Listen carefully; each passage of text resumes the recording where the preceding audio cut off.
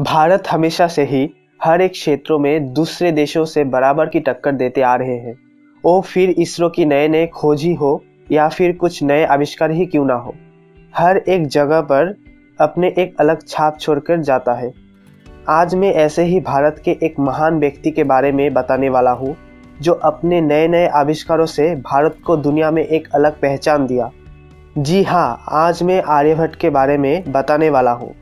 जो हम लोग स्कूल से ही इसके बारे में सुनते आ रहे हैं।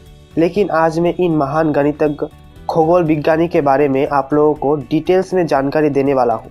तो चलिए शुरू करते हैं। उससे पहले जो लोग इस चैनल में नए आए हैं, वो नीचे के सब्सक्राइब के बटन को दबाकर हमारे इस कम्युनिटी में ज्वाइन कर ले, जिससे कि आने वाले वीडियो को मिस ना कर पाए। और जो इस कम्युनिटी में पहले से ही है, उन लोगों को मेरे दिल से स्वागत है।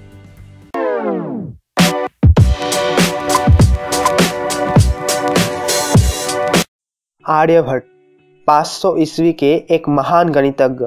उन्होंने जिन सब चीज़ों का खोज किया था, वो सिर्फ़ भारत की ही नहीं, पूरी दुनिया के लिए बहुत ही अनमोल है।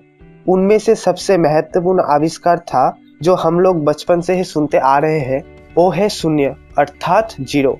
अगर सोचे शून्य का आविष्कार ना हुआ होता तो आज हम लोग गिनती कैसे करते है ना सबसे महान आविष्कार? इस महान व्यक्ति का जन्म हुआ था 476 एडी में, केरला पर। उन्होंने अपनी पढ़ाई विख्यात नालंदा यूनिवर्सिटी से किया था। नालंदा विश्वविद्यालय में शिक्षा पूरी करने के बाद ये बिहार चले गए और बिहार के कुसुमपुरा के निकट स्थित शिक्षा के महान केंद्र में अपनी पढ़ाई जारी रखी। बिहार के तेरेगाना ज़िले में वे रहते थे। इनकी निजी ज़िंदगी के बारे में ज़्यादा जानकारी नहीं मिलती है। उनके खगोल विज्ञान में कीमती अवदानों में से एक है हेलियोसेंट्रिक थ्योरी, जो साबित करता है कि सूर्य सौर्य प्रणाली के केंद्र में स्थित है और सभी ग्रह इसके चारों ओर घूमता है। वास्तव में उन्होंने दुनिया में सबसे पहले, कोपरनिकस से भी पहले इसका खोज किया था। उससे पहले सब लोग ये मानते थे कि सूर्य पृथ्वी के परिक्रमा करते थे। उन्होंने ये भी कहा था कि पृथ्वी आकार में गोल है और अपनी दूरी पर घूमती रहती है, जो दिन और रात का अस्तित्व बनाती है। इन्होंने कहा था कि चंद्रमा में प्रकाश नहीं है और चमकता है क्योंकि ये सूर्य से प्रकाश को दर्शाता है। उन्होंने सूर्य ग्रहण और चंद्र ग्रहण की गलत धारणा को भी नकारते हुए साबित कर दिया था कि ग्रहण पृथ्वी और चंद्रमा द्वारा डाली गई छायों का एक कारण है। आधुनिक उपकरण के बिना ही उन्होंने इन सब चीज़ों का खोज कर लिया था। कारण था कि उनकी तेज दिमाग, कड़ी मेहनत और उनके समर्पण। इन्हीं वजह से ही उन्होंने इतनी खोज कर पाई है। आर्यभट्ट खगोल विज्ञानी के साथ साथ एक बड़े अच्छे गणितज्ञ भी थे।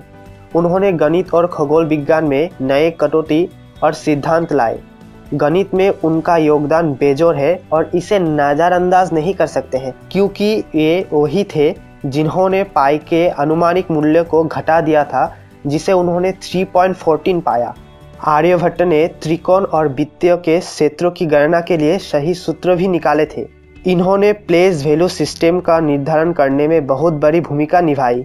त्रिकोणमिति और एल्जब्रा अर्थात बीजगणित के आधार का गठन किया। उनके इन्हीं महत्वपूर्ण योगदान के लिए ही भारत के पहले सैटेलाइट को आर्यभट्ट नाम दिया गया था, जिसे 1975 में लॉन्च किया गया था। भारत के नैनीताल के निकट आर्यभट्ट अनुसंधान संस्थान और पटना में आर्यभट्ट ज्ञान विश्वविद्यालय उनके नाम पर ही रखा गया है।